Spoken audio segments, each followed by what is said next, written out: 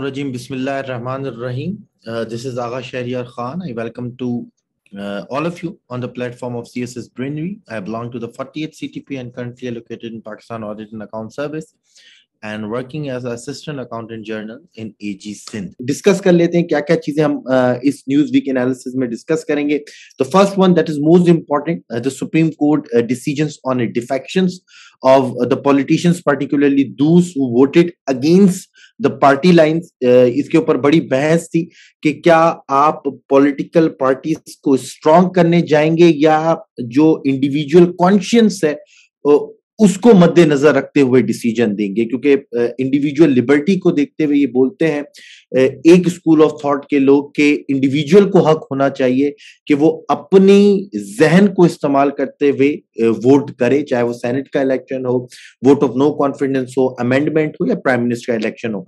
इसी तरह एक और स्कूल ऑफ़ थॉट है जो कहता था, नहीं जी इस तरीके से जो है वो पॉलिटिकल करप्शन जो है वो बढ़ती है, इसलिए पॉलिटिकल पार्टीज़ को स्टेबल करना चाहिए स्ट्रेंथन करना चाहिए और जो पॉलिटिकल पार्टी बोले और जिस टिकट पे उसने इलेक्शन लड़ा था, उसी को लाइन फॉलो करते हुए वोट देना चाहिए। तो इसके ऊपर डिसीज़न हुआ, इसके ऊपर एक नई बहस छिड़ गई है, उसको इंशाला देखेंगे। फिर जो एक और की डेवलपमेंट है डोमेस्टिक इश्यूज़ में ही, वो है water crisis worsening water crisis in Pakistan उसको देखेंगे इससे पहले यूएनडीपी की रिपोर्ट भी थी, जिसमें ये कहा गया था कि we are slowly moving towards absolute water scarcity उसकी कुछ स्टेटिस्टिक्स आपके साथ जो है वो शेयर किए जाएगी। फिर उसके अलावा अगर हम जो है थोड़ा सा पाकिस्तान के एक्सटर्नल इश्यूज़ की तरफ़ इवन इकोनॉमी उसके बाद देखेंगे डोमेस्टिक इश्यूज़ में रिसेंटली जो है वो आ, कुछ इकोनॉमिक स्टैटिस्टिक्स आई हैं पर्टिकुलरली लास्ट ईयर की end it is a very encouraging thing that Pakistan economy जो थी वो अच्छी डायरेक्शन में जा रही थी but because of the political crisis political instability वो दोबारा जो है वो डाउनवर्ड स्लोप को फॉलो करने लगी है। उसके ऊपर बात करेंगे फिर अगर आप एक्सटर्नल रिलेशंस की बात करें तो इंप्रूविंग पाक यूएस रिलेशंस की बात करेंगे particularly the recent visit of foreign minister Bilawal Bhutto to the United States of America and the United Nations as well and is meeting with secretary of state Blinken उसमें क्या चीज़ बातें हुई हैं, क्या traditional बातें हुई हैं, क्या कॉन्क्रीट चीज़ हुई है, इंशाल्लाह वो डिस्कस की जाएगी और फिर इसी तरह sort of ceasefire between Tehreek Taliban and Pakistan उसके ऊपर देखेंगे। And last but not the least जो कि है एक रिपोर्ट uh, आई है रिसेंटली ऑन क्लाइमेट इशू जिसको बोला जा रहा है कि state of the global climate report उसकी की स्टैटिस्टिक्स को इंशाल्लाह डिस्कस किया जाएगा। और फिर आखिर में जो एक इंटरनेशनल ईरान न्यूक्लियर डील का जो रिवाइवल हो रहा है उसके ऊपर बहस हो रही है कुछ यूरोपियन यूनियन की तरफ़ से भी स्टेटमेंट आई है कतर ने भी रोल प्ले करने की कोशिश की है बट अगेन इसराइल का प्रेशर भी है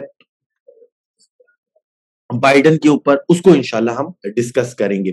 बट सबसे पहले, हम जो डिस्कस करने जा रहे हैं, वो चीज़ हम डिस्कस करने जा रहे हैं सुप्रीम कोर्ट ऑन डिफेक्शन सिर्फ़ मुझे एक सेकंड दीजिएगा।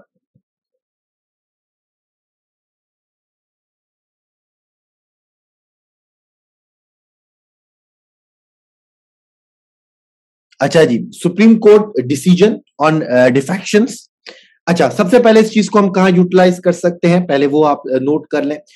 खास तौर पे अगर आप पाकिस्तान अफेयर्स का सिलेबस पढ़ेंगे तो उसमें आखिरी कुछ पॉइंट्स में दो तीन पॉइंट्स लिखे हुए कि recent constitutional debates recent constitutional amendments court decisions तो इसके अंदर हम ये चीज़ यूटिलाइज कर सकते हैं।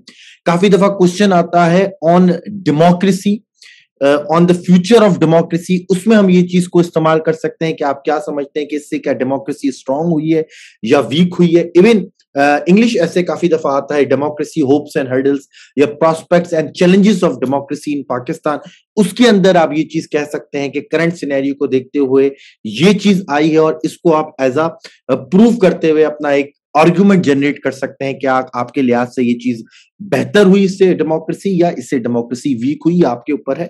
आफ्टर द डिस्कशन इसका फैसला आप करेंगे मैं अपनी राय से आपको आगाह कर दूँगा। सो so, ये चीज़ पता चल गई कि कहाँ कहाँ हम इसको यूटिलाइज कर सकते हैं। So the judgment is monumental अच्छा जजमेंट आई क्या थी? जजमेंट ये आई थी मैं आपको बता दूँ यहाँ पे लिखा हुआ भी है। Through three two decision the court has held that any legislator who defies the party's voting instruction on the four instances highlighted in Article 63 ought not to have their vote counted at all. Three two की judgement थी divided judgement थी, इसमें कहा गया कि कोई भी national assembly का मेंबर अगर अपनी पार्टी डिसीज़न के बेसिस के ऊपर, अपनी पार्टी लाइन के ऊपर वोट नहीं करता, किन जगहों के ऊपर कॉन्स्टिट्यूशनल अमेंडमेंट के ऊपर वोट ऑफ़ नो कॉन्फिडेंस के ऊपर, या फिर प्राइम मिनिस्टर के इलेक्शन के ऊपर, इसी तरह बजट के ऊपर। ये चार चीज़ें मैं रिपीट कर रहा हूँ। Vote of no confidence of the prime minister amendment vote of confidence अगर प्राइम मिनिस्टर ले उसके ऊपर, और फिर बजट के ऊपर।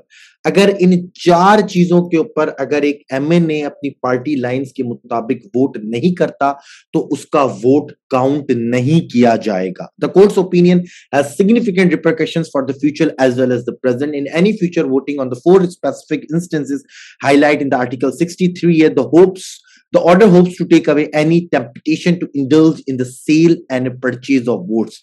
It also hopes to give political parties a greater sense of security. However, the same ruling will also prevent legislators from casting their votes according to their conscience and is not clear whether the court has taken this factor into account. As I said earlier, as I said in the start, it is basically a debate. कुछ लोग कहते हैं कि अगर आप democracy को in letter और spirit follow कर रहे हैं तो डेमोक्रेसी का मतलब ही है लिबर्टी डेमोक्रेसी का मतलब है फ्रीडम डेमोक्रेसी का मतलब है to cast your vote according to your own conscience कि आप किसको सही समझते हैं। ठीक है? अगर आप ये पॉलिटिकल पार्टीज़ को हक देते हैं कि वो जिसको बोले, उसी को जाके वोट करना है तो आप पॉलिटिकल पार्टी का जो हेड है, उसको आप एक तरीके से डिक्टेटर बना देते हैं कि भाई तुमने ये वोट करना है, तुमने ये वोट करना है, तुमने वोट करना है। जो इंडिविजुअल मेंबर है, उनकी रिस्पेक्ट उनकी सिग्निफिकेंस उनकी इंपॉर्टेंस खत्म हो जाती है। और हमारे पास बहुत ज़्यादा ऐसे इंस्टेंसेज हैं, दुनिया में बहुत ज़्यादा एक डेवलप डेमोक्रेसीज की ऐसी एग्ज़ाम्पल है, जहाँ पर ये कहा जाता है कि member is free to vote any one चाहे वो अपनी पार्टी वाले को समझता है तो वोट करे, अपनी पार्टी वाले को नहीं समझता तो वो किसी और को भी वोट किया जा सकता है। It is the beauty of democracy ये एक आर्ग्यूमेंट एक जगह पर है। मैंने कहा था दूसरे स्कूल ऑफ़ थॉट क्या कहता है कि नहीं जी पॉलिटिकल करप्शन से बचने के लिए। पॉलिटिकल करप्शन क्या है? फ्लोर क्रॉसिंग क्या होता है? एक पार्टी ने दूसरी पार्टी के लोगों को जो है वो इंड्यूस किया थ्रू ब्राइब या थ्रू पोजिशन थ्रू मिनिस्ट्रीज उन्होंने फ्लोर क्रॉस किया पार्टी के बंदे को आके वोट कर दिया और वो वहाँ पे उसकी जो है वो छुट्टी कर दी गई। ये पाकिस्तान में होता गया अगर आपने 1990 से लेकर 1999 तक अगर आपने हिस्ट्री पढ़ी हो तो दो दफ़ा बीबी की गवर्नमेंट गई, फिर दो दफ़ा नवाज़ शरीफ साहब की गवर्नमेंट गई। उसमें से तीन जगहों के ऊपर यही हुआ फ्लोर क्रॉसिंग के ऊपर और जो है वो गवर्नमेंट को रद्द कर दिया गया। इस तरह की चीज़ें पाकिस्तान में बड़ी कॉमन है। अभी भी आपने देखा, अगर आप कोई पिछले आठ से दस साल या पंद्रह साल 2008 से टेन्योर को फॉलो कर रहे हैं तो काफ़ी दफ़ा बलूचिस्तान की गवर्नमेंट जो है वो इस तरह से गिराई भी गई। बट इसको खत्म करने के लिए जो है वो थर्टीन अमेंडमेंट और फोर्टीन अमेंडमेंट कॉन्स्टिट्यूशन में लेकर आए थे, लेकिन अब सुप्रीम कोर्ट का जो है वो डिसीज़न भी आ गया। अब सवाल ये पैदा होता है कि अगर कोई पार्टी लाइन के ऊपर वोट देगा, सुप्रीम कोर्ट ने कहा कि काउंट नहीं होगा, उसकी सजा क्या होगी? क्या उसको डिस्कालीफाई कर दिया जाएगा? ये सुप्रीम कोर्ट ने दोबारा पार्लियामेंट के कोर्ट में बात डाल दी है कि it is it is uh, the prerogative of the parliament of pakistan to decide uh, the treatment uh, of defectors जो ये काम कर रहे हैं। लास्ट पॉइंट जो इसमें समझने का है वो ये है कि अब सवाल ये पैदा हो रहा है कि जो पंजाब असेंबली में जो हमजा शहबाज शरीफ साहब जो है वो वज़ीर आला बने हैं उनको काफ़ी जो है वो पीटीआई के लोगों ने वोट दिया है। ये भी बड़ा इंटरेस्टिंग पॉइंट है। इसमें जो है वो लोकल पॉलिटिक्स को मैं डिस्कस नहीं कर रहा सिर्फ़ आपको समझाने के लिए। क्योंकि इससे पहले भी ये पॉइंट रेज हो चुका है। अच्छा जरा समझिएगा मेरी आवाज़ सबको क्लियर आ रही है जी? ये लोग मुझे काइंडली मुझे बता भी दें चैट के ऊपर, ताकि मुझे आइडिया हो जाए। सबको क्लियर है जी? मुझे लगता है अली के अलावा चले जी, बेहतरीन है। अब जरा समझिएगा इसको, इस इस इस पर्टिकुलर पॉइंट के ऊपर। अब यह है कि हमजा शहबाज शरीफ साहब को जो वज़ीर आला बनाया गया है इन द पंजाब असेंबली जो कि पाकिस्तान सिक्सटी परसेंट पाकिस्तान है तो अब उनका फेट क्या होगा? क्या वो वज़ीर आला रहेंगे या वज़ीर आला खत्म हो जाएँगे? अब ये अगेन जो है वो कोर्ट में गया है। अब इसमें जो जस्टिस रामदे हैं Mustafa Ramdev, a suggested that the opinion would have prospective effect, not a re retrospective one.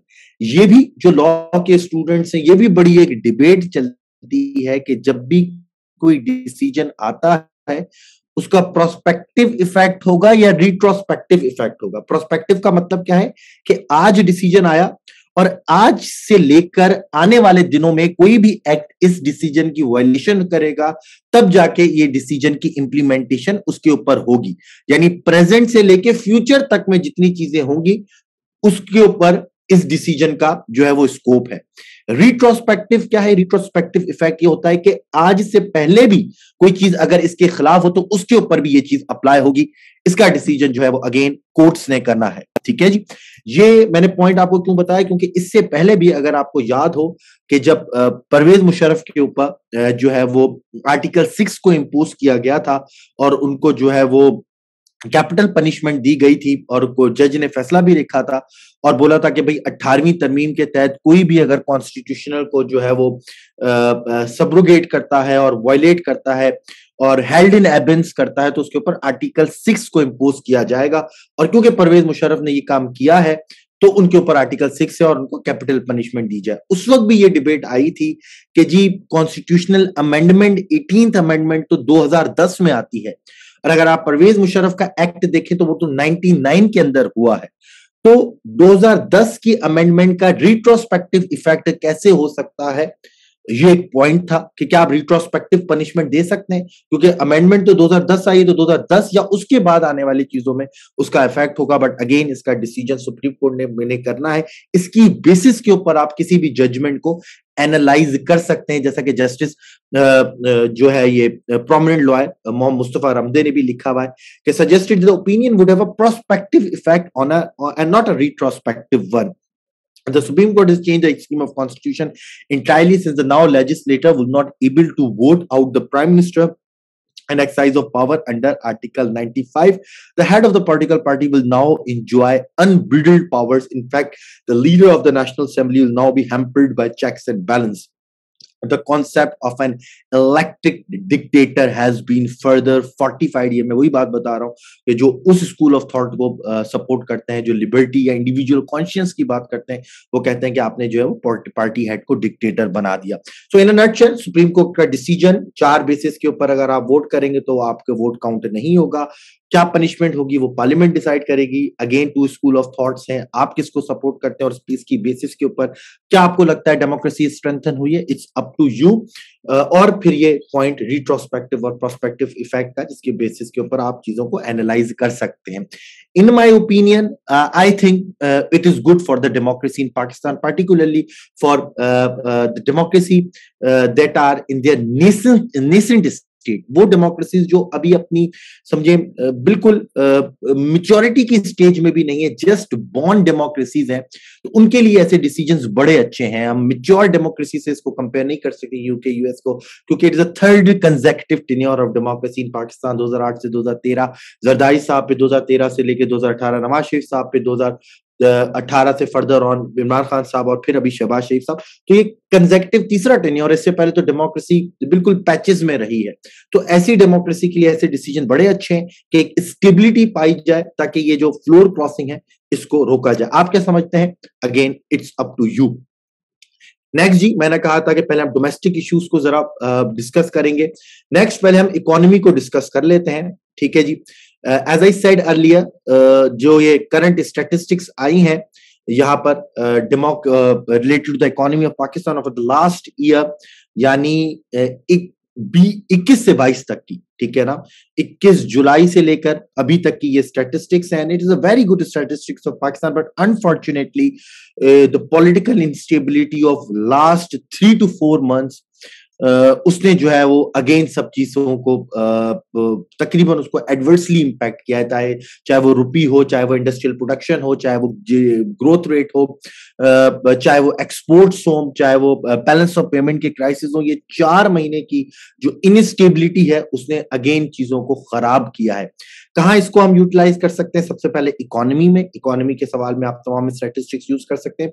दूसरी चीज़, जब इकोनॉमी को एनालाइज करें तो बड़ा उसको कनेक्ट करें कि पॉलिटिकल स्टेबिलिटी इज़ अ की एक ऐसे भी आता है, अगर आप सब लोगों को याद हो, कि politics not economy is a key to success इस तरह का सीएसएस में ऐसे आता है। तो क्यों कहा जाता है? देखिए, अगर पॉलिटिकल इंस्टेबिलिटी ना हो, आज की बात बताएँ, आज भी 700 पॉइंट्स जो है, वो स्टेट बैंक ऑफ़ पाकिस्तान जो है वो, नहीं Karachi index stock exchange of Pakistan जिसको कहते हैं पहले उसको कराची स्टॉक एक्सचेंज कहते थे, वो नीचे गई है। रुपी अगेन डॉलर के मुकाबले में डी वैल्यू होता चला जा रहा है, वो आपके सामने अगर आप ये स्टैटिस्टिक्स देखें, जो कि चार महीने पहले के लेकिन आई अभी ही है तो वो देखें कितनी अच्छी और ये इसकी सोर्स भी मैं आपको बता देता हूँ। One zero fifth meeting of the national accounts committee chaired by the planning secretary Daud Mohammad Bareech approve the figures of GDP for the fiscal year 2021 and revised figure of 2021 से देखिए 2020 की क्या है जी statistics the projection of Pakistan economy will grow at a rate of 5.97 percent in 2021 2022 अगर आपको याद हो 2018 में जब नवाज़ शरीफ साहब अपनी गवर्नमेंट छोड़ के गए थे तो ये उस वक्त तक का ग्रोथ रेट है। तकरीबन इकोनॉमी 5.7 5.8 पे ग्रो कर रही थी। उसके बाद से बैलेंस ऑफ़ पेमेंट के क्राइसिस है, हमने डाउनवर्ड जो है वो मूव किया। फिर कोविड आ गया और एक टाइम ऐसा आया कि हम लोग नेगेटिव ग्रोथ रेट में चले गए। यानी इकोनॉमी बढ़ने के बजाय कम होना स्टार्ट हो गई। फिर वो फॉर्चुनेटली कोविड के बाद से हमने रिकवर किया इस पूरे एक साल में और अब देखिए हमारी इकोनॉमी फिर 5.97 परसेंट पे पहुँच गई है। बट अनफॉर्चुनेटली ये चार महीने में जो क्राइसिस आए उसकी वजह से अब क्या होगा? अब नहीं पता कि चीज़ें किस तरफ़ जा रही is much higher than the projection projection क्या थी कि शायद आईएमएफ ने कहा था या वर्ल्ड बैंक ने आपको दी थी कि इस साल पाकिस्तान की इकोनॉमी चार, साढ़े चार परसेंट पे ग्रो करेगी, लेकिन तकरीबन हम 5.97 यानी तकरीबन छह परसेंट पे ग्रो कर गए। मैन्युफैक्चरिंग सेक्टर को आप उठाएँ। वो भी यहाँ पे मैंने जो है वो मेंशन किया हुआ है कि industrial sector growth rate is a revise estimate of 7.81 percent and it is a tremendous achievement अगर किसी ने हिस्ट्री पढ़ी हो पाकिस्तान की, मेरा तो हमेशा से फेवरेट सब्जेक्ट रहा है। तो इसको हम बकायदा बड़े अच्छे तरीके से, अगर आप अयूब खान का एरा किसी को याद हो, उस वक्त पाकिस्तान की इंडस्ट्रियल ग्रोथ रेट जो है वो नाइन परसेंट के ऊपर eight point seven nine percent के ऊपर थी। उसके बाद से इतनी ग्रोथ रेट शायद जो है वो एक दफ़ा आई हो बीच में कहीं पर, लेकिन किसी, इस चीज़ को आप बड़ी आसानी से उसके साथ कंपेयर कर सकते हैं। इतनी इंडस्ट्रियल ग्रोथ रेट से वाजिब है कि economy was moving in the right direction but unfortunately the political instability prove to be a biggest impediment ठीक है सर्विस सेक्टर की ग्रोथ देखें जी सिक्स परसेंट के ऊपर पाकिस्तान की इकोनॉमी 380 बिलियन से पे ग्रो की गई 346 बिलियन से और जो है यहाँ पर एग्रीकल्चर की ग्रोथ रेट लिखी हुई है। ठीक है जी? यहाँ पर साइज़ ऑफ़ द इकोनॉमी हो गया। The crop sector has improve from 5.92 percent to 5.96 percent the provisional GDP growth rate भी आ गया outcome of the broad based और ये Uh, the uh, growth in agriculture, industry, and service sector are 4.40, 7.19, and 6.19 percent respectively. The growth in agriculture sector was achieved despite a fall in wheat production. Wheat production में decline आई है उसके बावजूद agriculture के अंदर growth rate और आप यकीन माने मैं तो हर साल बच्चों को इकोनॉमिक सर्वे और बजट पढ़ाता हूँ कुछ ऐसे साल गुजरे एक साल पहले कि हमारी एग्रीकल्चर सेक्टर की ग्रोथ या नेगेटिव में जाने लग गई तो it is a tremendous achievement but unfortunately मसला क्या है मसला है पॉलिटिकल इनस्टेबिलिटी और पॉलिटिकल इनस्टेबिलिटी की वजह से क्या हो रहा है? हम दोबारा जो है वो डिक्लाइन की तरफ़ जा रहे हैं। यहाँ पे मैंने लिखा हुआ भी होगा कहीं पर कि फिर जो है वो रुपया जो है वो हमारा पाकिस्तानी रुपी जो है वो क्रैश करता जा रहा है जो है वो अगेंस्ट डॉलर फिर हमारे पास बैलेंस ऑफ़ पेमेंट के crisis and again we are at the door of the IMF और आप सबको पता है कि मई 24 को एक क्रूशल मीटिंग है पाकिस्तान के आईएमएफ के साथ। अगर उसमें हमें एक और बेल आउट पैकेज मिल जाता है या कोई ब्रीथिंग स्पेस मिल जाती है तो हमारी इकोनॉमी सर्वाइव कर जाएगी। Otherwise we do not have any other option because at at this time government is not in the mood to take tough decision और टफ डिसीज़न क्या थे? वो है गैसोलीन की प्राइसेस को बढ़ाना पेट्रोल की प्राइसेस को बढ़ाना, बिजली की प्राइसेस को बढ़ाना। उसकी क्योंकि पॉलिटिकल कॉस्ट बहुत ज़्यादा है तो कोई भी डेमोक्रेटिकली इलेक्टेड गवर्नमेंट और खास तौर पे जिसको इस तरह लेकर आया गया हो कि खास कि भाई आप सिर्फ़ आए और सात आठ महीने अपना काम करें तो वो तो कभी भी ये पॉलिटिकल कॉस्ट को जो है वो बेयर नहीं करना चाहेंगे। अब उनके पास सिर्फ़ दो ही ऑप्शन हैं, या तो उनको आईएमएफ का पैकेज मिल जाए अदरवाइज़ वो सर्वाइव कर जाएँगे otherwise they are ready to dissolve the parliament of Pakistan और फिर अगेन एक और पॉलिटिकल इनस्टेबल पीरियड के भाई कौन आएगा इलेक्शन का मूड और उसके अंदर फिर इकोनॉमी का क्या बनेगा। इस पॉइंट के ऊपर एक और आपको एक पॉइंट uh, दे देता हूँ जो कि मैं हमेशा कहता हूँ कि that is why we need the charter of economy charter of democracy हुआ था। बीबी और नवाज़ शरीफ के दरमियान आप सब लोगों को याद हो अगर आप लोग फॉलो करते हैं। कि डेमोक्रेसी का चार्टर हुआ था कि चाहे कुछ भी हो जाए नॉन सिविलियन फोर्सेस से मदद नहीं लेनी। इसी तरह एक चार्टर ऑफ़ इकोनॉमी होना चाहिए among all the three big political parties of Pakistan PMLN PTI and peoples party parliamentarian कि चाहे कुछ भी हो जाए, आप पॉलिटिक्स करें, हम पॉलिटिक्स करें, आप आए इकतदार में, हम आए इकतदार में, हम आए अपोजिशन में। बट जो इकोनॉमी की की फीचर्स है ना, जिसमें एक्सपोर्ट्स है, जिसमें इम्पोर्ट्स है, जिसमें इंडस्ट्रियल सेक्टर है, जिसमें एग्रीकल्चर है जिसमें जो है वो बायोलिट्रल और मल्टीलेटरल एग्रीमेंट्स हैं, जिसमें सोशल इकोनॉमिक प्रोजेक्ट्स हैं लाइक सेहत कार्ड वगैरह। उसके ऊपर एक कंसेंसस होना चाहिए कि आप आए या हम आए। ये कुछ चीज़ें हैं जिसको कंसेंसस के साथ आगे बढ़ाना है। ऐसा नहीं होगा आप आएँगे हमारी पॉलिसीज़ को रिवर्स कर दें हम आए आपकी पॉलिसीज़ को रिवर्स कर दें। इसमें जो टोटल लॉस है वो नेशन का है वो नेशन स्टेट का है वो कंट्री का है। दैट इज़ वाई इसको आप भी कोट कर सकते हैं अगर आप कहीं पर करना चाहें तो कि Pakistan need charter of economy और वो चार्टर ऑफ़ इकोनॉमी किस तरह होता है? It is easier said than done because uh, the way uh, the country is polarized, uh, the way the political parties are taking extreme positions, it seems almost impossible. But again, it's a good solution. फिर जी अगर हम domestic issues की बात करें तो हमारे पास water crisis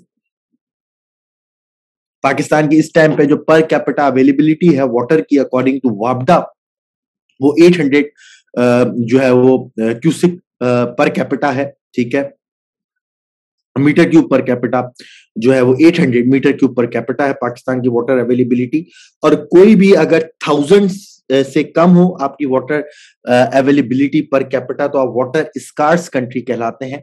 और अगर 500 से कम हो तो आप एब्सोल्यूट वाटर स्कार्सिटी की तरफ़ चले जाते हैं। तो Pakistan is moving in the direction of absolute water scarcity UNDP की रिपोर्ट में भी ये बोल चुके हैं कि Pakistan is going to dry up by 2025 पहले भी आ चुकी है। Again ministry of climate Change, Shi Iman on Monday said that Pakistan was among three most water stressed countries in the world and could become a water scarcity hit country by 2025 आपके जो दो बड़े dam है तरबेला और मंगला वो dead level को hit करने जाते हैं। फिर आप क्या करते हैं डेड लेवल जो है वो पहले 1050 फीट के ऊपर था, उसको आप कम कर देते हैं कि नहीं जी, अभी डेड लेवल को हिट नहीं किया। इससे क्या होता है? एक तो आपकी एग्रीकल्चर प्रोडक्शन को इम्पैक्ट होगा इंडस्ट्रियल प्रोडक्शन को इम्पैक्ट होगा। दूसरा पे सूबों के दरमियान आपस में क्राइसिस शुरू हो जाते हैं। अभी आप पढ़ रहे होंगे कि सिंध को बड़े रिजर्वेशन से टूवर्ड्स पंजाब के भाई वो जो है, वो हमारा पानी नहीं आने दे रहे। तो ओवरऑल नेशनल यूनिटी भी इम्पैक्ट होती है नेशनल इंटीग्रेशन भी इम्पैक्ट होती है। सीएसएस में ऐसे भी आया था water crisis and national unity वो पूरा यही है कि अगर वाटर क्राइसिस इंटेंसिफाई होते चले जाएँगे तो आपकी फिर नेशनल यूनिटी और नेशनल इंटीग्रेशन इम्पैक्ट होगी। उसकी डिटेल में अभी नहीं जाएँगे, ना इतना टाइम है। वो मैं अपने करंट अफेयर अफेयर्स के पूरा जो बैच होता है उसमें कवर करता हूँ कि क्या क्या मसले हैं जो है हमारी इंडस वाटर अकॉर्ड 1992 वाली, उसके ऊपर मसला है न्यू डैम्स की कंस्ट्रक्शन के ऊपर मसला है किस तरह शॉर्टेजेस को जो है वो शेयर किया जाएगा, उसके ऊपर मसला है, तकरीबन ढाई से तीन जो है वो जो जो होता है मिलियन एकड़ फीट, उसके ऊपर जो है वो पंजाब और सिंध के दरमियान मसला है। और अगर उसको हम देखें तो काफ़ी चीज़ें बेहतर हो सकती हैं बट अगेन उस अभी डिबेट में नहीं जाएँगे because it's a news week analysis अच्छा जी तो डोमेस्टिक न्यूज़ में ये तमाम चीज़ें थी, जो मैंने आपके साथ डिस्कस की। The first one is supreme court decision the second one is economy of Pakistan and the third one is water crisis ठीक है? अब थोड़ा जरा रीजन पे जाते हैं। रीजन में अगर मैं आपको सबसे इंपॉर्टेंट इस वक्त बात बताऊँ बिकॉज़ कुछ दिनों से आपने देखा होगा, या कुछ महीनों से कि टेररिज्म की वीव अगेन एक आई है न्यू वेव आई है, और उसमें काफ़ी टेररिस्ट ऑर्गेनाइजेशंस का भी हाथ है। एंड पार्टिकुलरली जब जैसे ही तालिबान की गवर्नमेंट आती है अफ़गानिस्तान में तो पाकिस्तान को एक होप होती है कि जो तालिबान जो अफ़गानिस्तान की टेरिटरी से पाकिस्तान में क्रॉस बॉर्डर टेररिज्म हो रहा था चाहे वो टीटीपी कर रही हो, चाहे वो आईएसएस कर रही हो, चाहे वो दूसरी ऑर्गेनाइजेशंस कर रही हो, उनको अब तालिबान कंट्रोल करेंगे। क्योंकि इससे पहले तो वहाँ पे तालिबान की गवर्नमेंट नहीं थी, वहाँ पर अशोक गनी की गवर्नमेंट थी और उसको बोला जाता था कि is a puppet of India और एनडीएस का रोल और रॉ का रोल ज़्यादा था तो पाकिस्तान के इतना जो है वो स्ट्रॉन्ग होल्ड नहीं था। But after the arrival of Taliban Taliban को पुश भी किया गया, या तो टीटीपी को खत्म करें या टीटीपी को बिठाएँ और एक जो है वो एग्रीमेंट होके टीटीपी अफगान सॉइल से पाकिस्तान के अगेंस्ट कोई भी काम नहीं करेगी। और वही हुआ कि government of Pakistan and outlaw TTP Pakistan have agreed on a temporary cease fire during talks in Afghan capital on Wednesday spokesman from Afghan Taliban and TTP confirmed in separate statements एक temporary cease fire हुई है as as a building या जिसको हम बोलते हैं good gesture ठीक है? एक गुड जेस्चर हुआ है दोनों तरफ़ से कि भाई ठीक है, हम जो है वक्ती तौर पर सीज फायर कर लेंगे पाकिस्तान में। हाई लेवल कमिटीज भी बनी हैं और कुछ जो है वो उनके सिग्निफिकेंट लोगों को भी कमिट किया गया है कि रहा करेंगे, लेकिन अभी तक वो न्यूज़ कंफर्म नहीं है। देन जी अगर हम एक और रीजन पे नज़र डालें तो बिकॉज़ ऑफ़ डोनल लू एपिसोड आप सबको ये नाम पता होगा। इमरान खान साहब ने सबको ये नाम याद करा दिया है and because of the letter और फिर साजिश और फिर मुदाखलत, उसकी वजह से जो है पाक यूएस रिलेशन जो है, वो एक स्ट्रेन हो चुके थे, ठीक है? But after the visit after the maiden visit of the foreign minister of Pakistan Bilawal Bhutto the ice is melting ठीक है? और बड़े इंकरेजिंग स्टेटमेंट्स आए हैं but on the same side they are just statement as well action हमें नज़र नहीं आया। Maybe May twenty four को मीटिंग है आईएमएफ की। उसमें हमें कुछ जो है वो एक्शन भी नज़र आए because it's all about United States of America आपको अच्छा लगे यूएस बुरा लगे यूएस लेकिन इंटरनेशनल मॉनेटरी सिस्टम जो है उसकी जो रेंज uh, है वो यूनाइटेड स्टेट्स ऑफ़ अमेरिका के हाथ में। If you want a breathing space from I F you have to make good relation with the United States of America so काफ़ी चीज़ें अच्छी हुई। एक बेहतर बात यह थी कि Bilawal Bhutto supported the former prime minister's visit to Moscow उन्होंने कहा कि हम इमरान खान के विज़िट को मैं सपोर्ट करता हूँ। And Pakistan didn't know that जो है वो Putin was going to launch I invasion on Ukraine उसी दिन जिस दिन हमारे प्राइम मिनिस्टर गए और ये हमारी एक जो है वो ओवरऑल कंसेंसस था या डिसीज़न था कि पाकिस्तान को मॉस्को का जो है वो दौरा करना चाहिए और किसी को भी इस बात के ऊपर पाकिस्तान को पनिश नहीं करना चाहिए। जहाँ तक इन्वेजन की बात है तो पाकिस्तान क्रिस्टल क्लियर है कि यूनाइटेड नेशन चार्टर जो कि यूज़ ऑफ़ फोर्स को रिजेक्ट करता है, कोई भी उसका मुल्क अगर ऐसा करेगा तो पाकिस्तान उसको क्रिटिसाइज करेगा।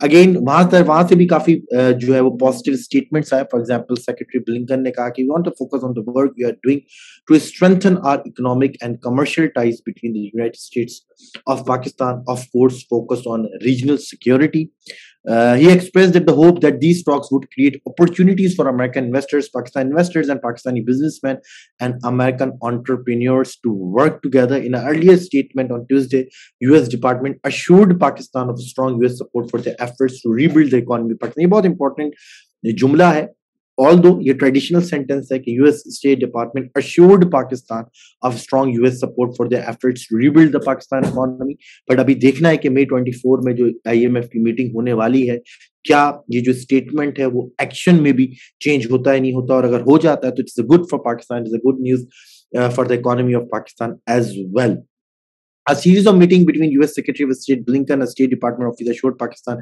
ये मैं आपको सारी चीजें बता चुका हूँ United States also welcomes the ongoing IMF deliberations with Pakistan, the spokesperson added.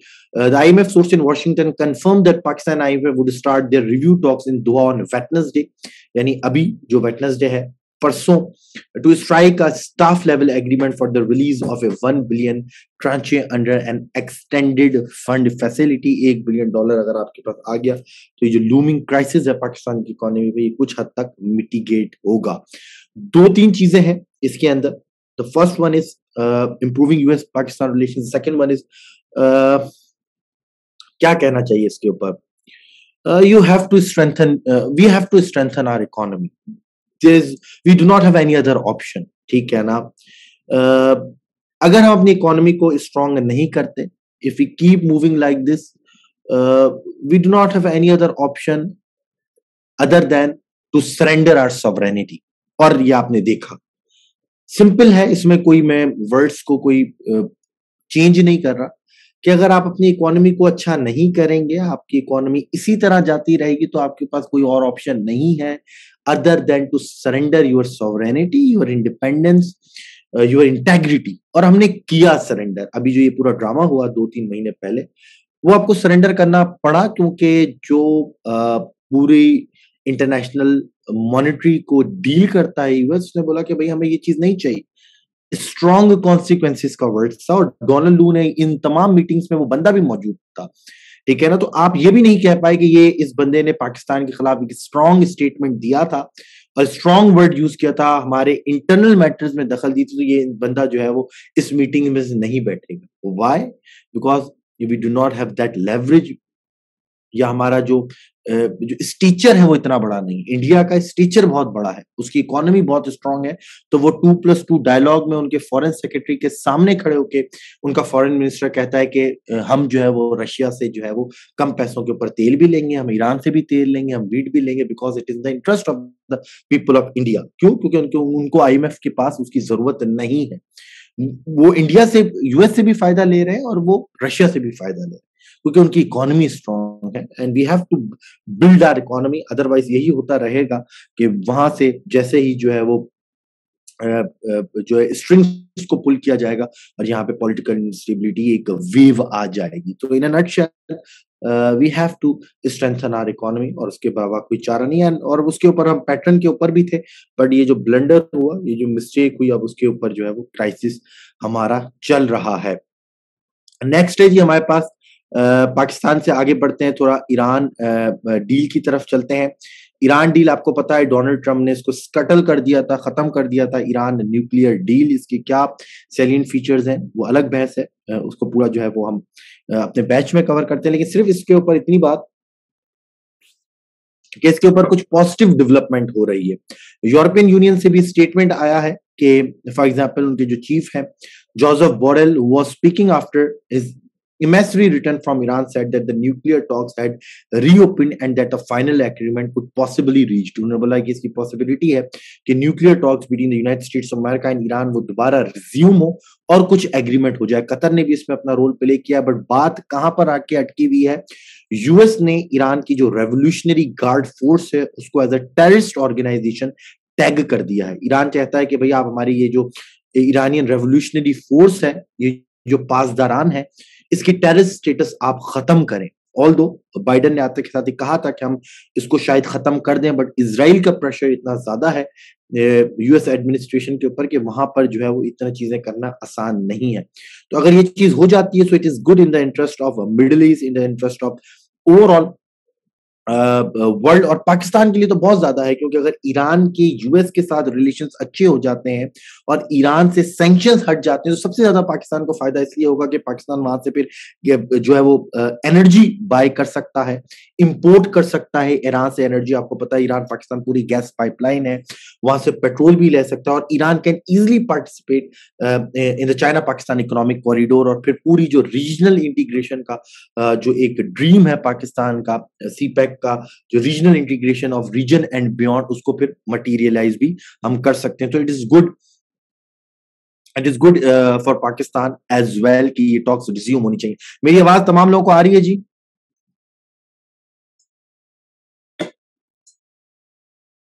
अच्छा जी तमाम लोग को आ रही है। Last but not the least जी आ, एक रिपोर्ट जैसा कि मैंने आपको पहले भी कहा कि नई रिपोर्ट आई है जी ग्लोबल क्लाइमेट चेंज के ऊपर। जिसको कहा जाता है state of the global climate report उसकी कुछ स्टैटिस्टिक्स मैं आपके साथ शेयर कर देता हूँ। इसको मैं थोड़ा सा बड़ा कर दूँ ताकि आप लोगों को नज़र भी आ जाए चीज़ें।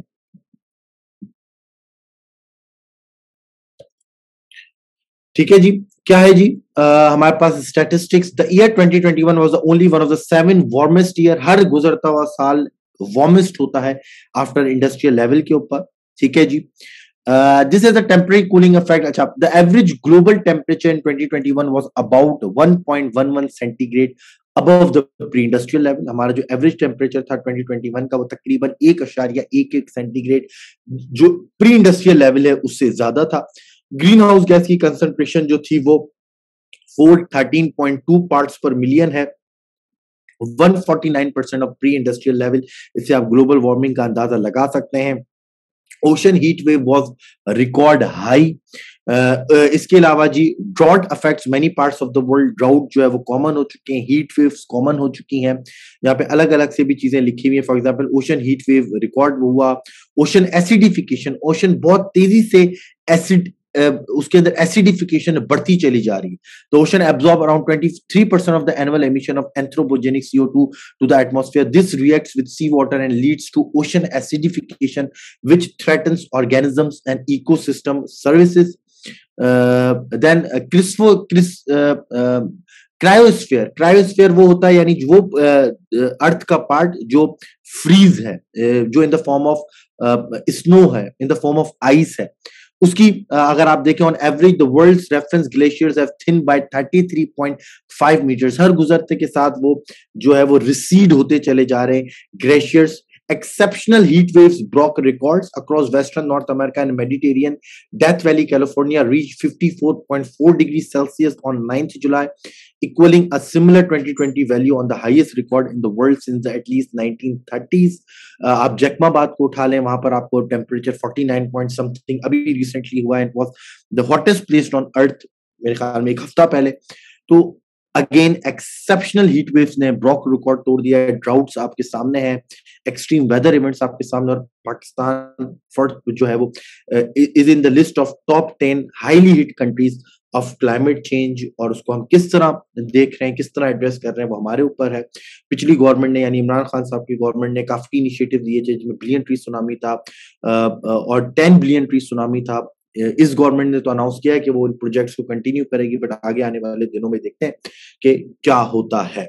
ठीक है जी तो this is it from my side आज हमने डोमेस्टिक भी इश्यूज़ को डिस्कस किया, जो कि की इश्यूज़ थे सुप्रीम कोर्ट डिसीज़न इकोनॉमी और टीटीपी के साथ और जो है हमारी water crisis then regional issues को यूएस के साथ इंप्रूविंग रिलेशंस टीटीपी के साथ सीज फायर और फिर कुछ इंटरनेशनल सिनेरियो को भी डिस्कस किया, जिसमें ग्लोबल वार्मिंग था, और जो है हमारे पास Iran nuclear deal thi. Inshallah, we'll meet in the next week on Sunday or on Monday.